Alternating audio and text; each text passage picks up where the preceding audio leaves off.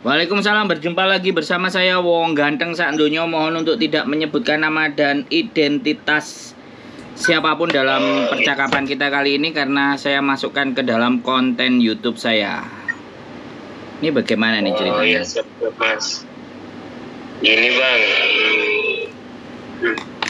saya sekarang masih di Indonesia. Terus? Terus saya ini pengen sekali kerja keluar karena ke di luar kan hmm, uangnya itu kan eh, bisa di eh, dirupiahkan ke Indonesia kan juga besar. Saya saya sekarang kan masih kerja di di Bali. Gaji per bulan itu 1,2 bang, satu juta dua ratus. Tapi udah tinggal dalam. Aku pikir-pikir gaji kalau segini dalam setahun pun nggak bisa cukup untuk bayar itu semua. Hmm, aku nonton-nonton konten orang-orang gitu mau ke luar negeri harus gini harus bisa harus itu. Em, belum lagi kejebak sama yang admin-admin. Jadi aku me- udah mau mengurungkan niat. Nah tadi tadi habis maghrib itu aku scroll scroll di YouTube. Nah ketemu Bang Jabri. Aku bilang ini orang konten apa? Aku nonton nonton kok. Kok enak juga. Nah makanya aku minta solusi atau saran gitu.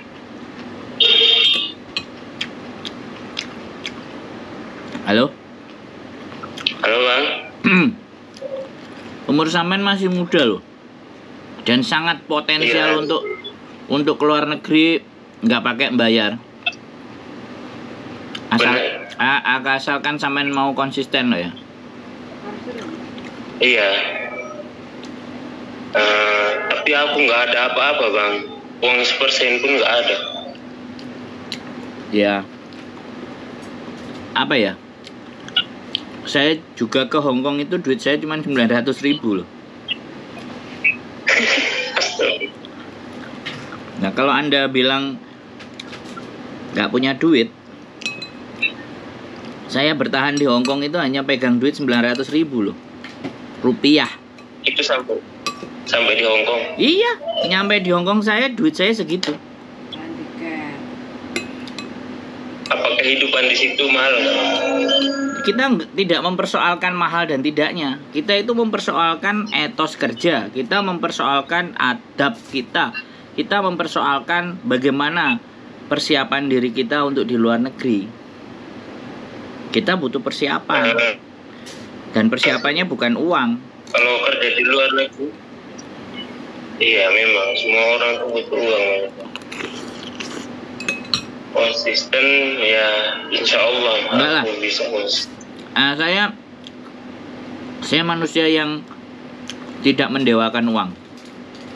Jadi kalau saya ke- punya keinginan, saya nggak punya ayo nggak punya uang pun, keinginan itu tetap saya kejar. Karena jalannya pasti akan ada. Iya memang.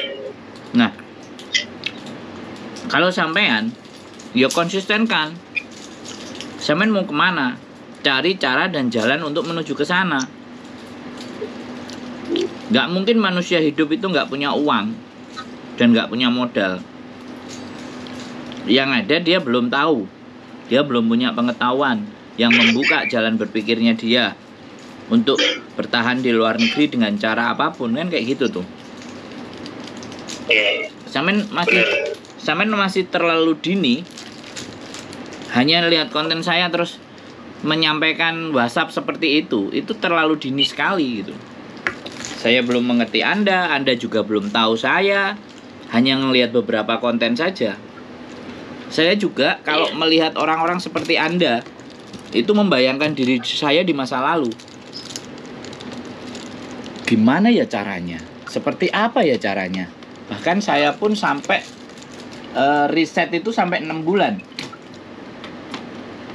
Enam, enam bulan. enam bulan saya riset. Dan saya juga nggak punya duit itu. Duit di tangan itu cuma satu juta lima ratus Gimana caranya? Seperti itu kan? Iya benar. Nah, saya cari saya cari cara. Kalau Samen menurut saya ya sekarang Samen masih bekerja ini ada duit. Saya enggak. Tiga bulan pekerjaan kadang ada duit, kadang enggak. Bahkan saya enggak kan sertifikat tanah saya yang satu hektar itu aja sama banknya ditolak. Cari duit ke mana saya? Nah ternyata rezeki saya tanah saya ada yang mau sewa selama tiga tahun dan satu tahun Samen tahu berapa nyewanya satu hektar itu? Sejuta lima ratus. Masya Allah. Bayangkan, makanya jangan bicara uang sama saya mas bro. Tanah satu hektar itu disewa setahun satu juta lima ratus. Saya sewa sewakan itu tiga tahun. Saya cuma punya duit empat juta lima ratus dan saya pegang duit cuma satu juta setengah. Sudah saya tikatkan niat. Nah itu kan cuma satu setengah mana cukup? Ternyata usaha dan doa kita diijabah dikasih.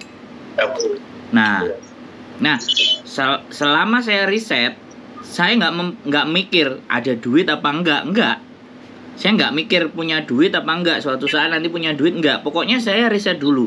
Kalau saya nyampe di sana supaya uh, duit saya aman atau apa pun lah aku tidur di mana aja, gimana solusinya. Akhirnya aku menemukan di Victoria Park.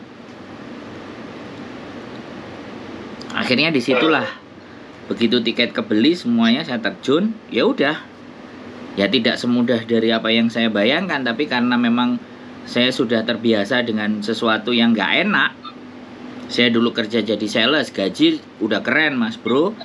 Tahun 2003 gaji saya udah hampir 5 juta 2003 saya lulus. Bayangkan 2003 loh, aku nggak ngerti sama. Nah, tapi di endingnya saya resign 2009. Saya nggak punya apa-apa dan bekal yang saya ambil apa? Yang bekal yang saya ambil adalah pada saat saya jadi sales, saya selalu disuruh-suruh pulang paling malam, tidur paling kamarnya paling jelek, garasi, gudang.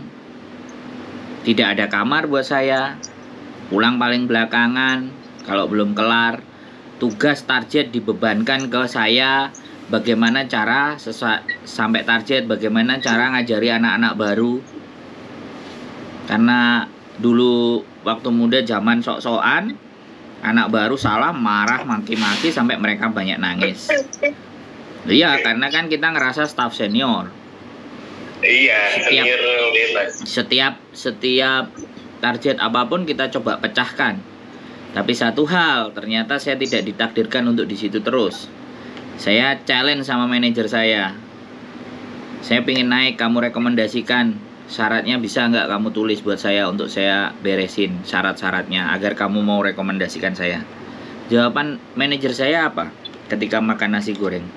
Dan jawaban itu akan saya ingat sampai akhir hayat saya nanti. Jawabannya, kamu kurang ganteng di situ di situ mimpi saya itu udah hancur.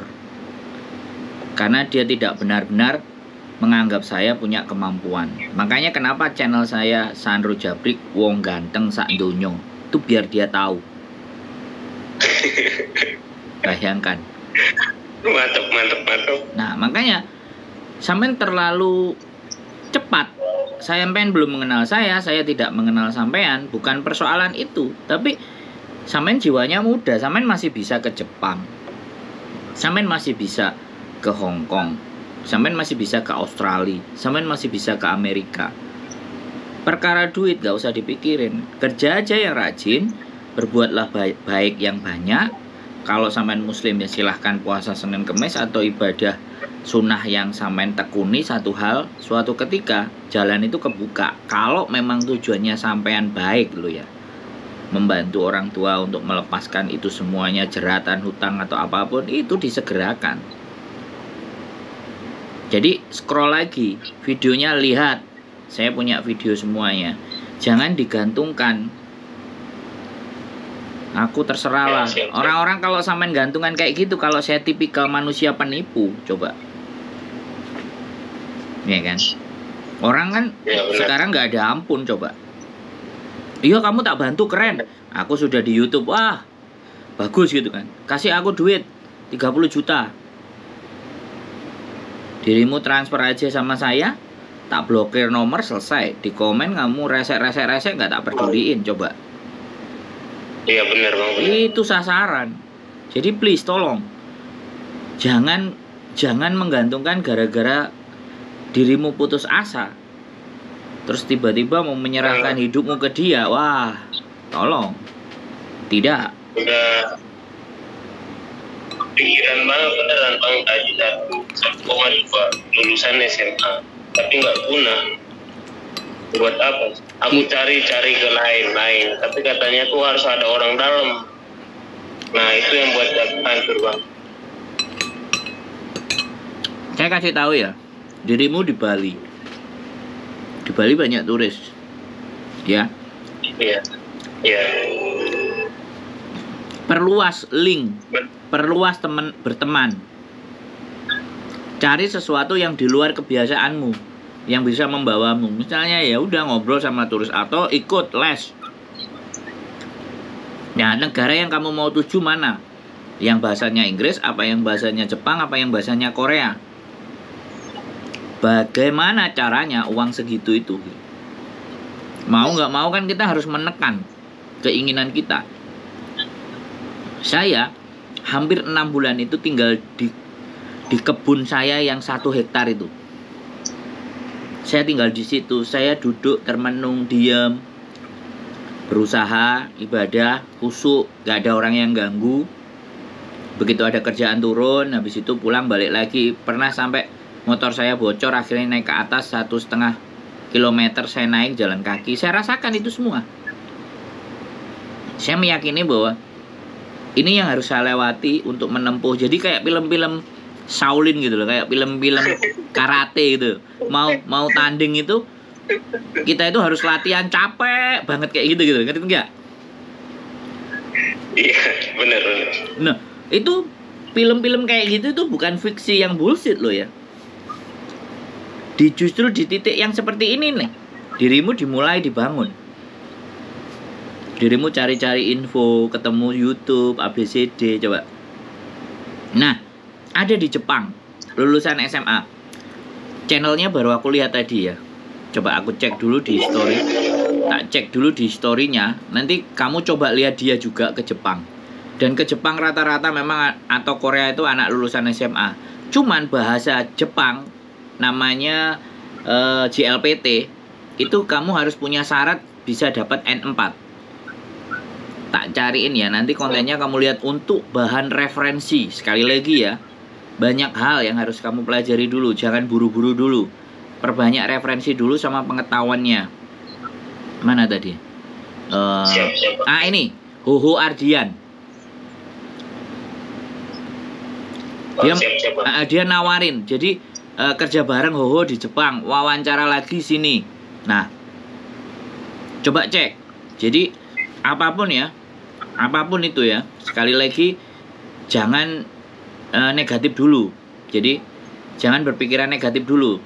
Tapi carilah knowledge-nya dulu pengetahuannya dulu. Hoho Ardian. Keren loh ini.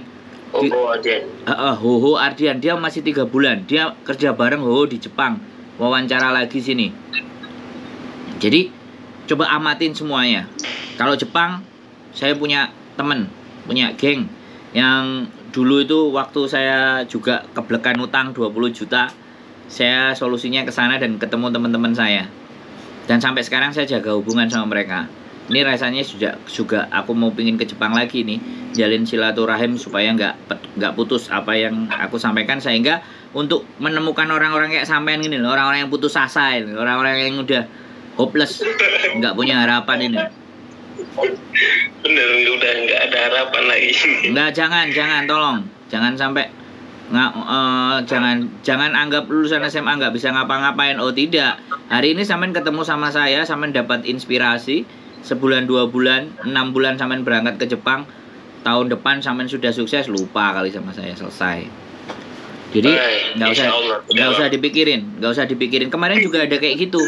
Eh, ibunya di Hong Kong anaknya udah umur lebih dari 17 udah nggak bisa stay di Hong Kong nggak dapat visa tak suruh ke Bandung ikut les bahasa Jepang. Eh aku nggak ngerti dua bulan apa satu bu, tiga bulan? Mas terima kasih atas motivasinya. Saya saya lagi berjuang di sini mudah-mudahan nanti kalau saya berangkat saya hubungi sampean lu bahagia aku cuman digituin doang lo nggak dikasih duit lo Siap. Loh, iya orang-orang yang putus asa kayak gini gampang dimotivasi bener gak? Itulah akhirnya eh, apa doktrin ISIS itu masuk sama orang-orang yang kayak gini nih, yang pasrah gak punya duit, akhirnya melakukan kejahatan apa pun kan. Makanya hati-hati ya. Untungnya ketemu sama saya, ya. Pilih aja. Nanti Ya. tonton konten Ya, ya. itu semuanya sambil tabung baik-baik, tekan kebutuhanmu setek serendah-rendahnya. Kalau istri mau eh pacar minta dinikahin, waduh berat. Jangan dulu lah. Nah kalau kalau dia sabar dan sampean masih masih bisa mencintai dia, ah, tapi laki-laki ya bullshit tai kucing. Kalau udah nyampe di sana juga udah lupa. Udah saya kan laki-laki, makanya saya ngerti. Oke, gak apa-apa. Hari ini saya kasih kasih eh, free dulu karena istriku udah pulang. Aku udah waktunya sama dia, makanya aku nggak bisa panjang.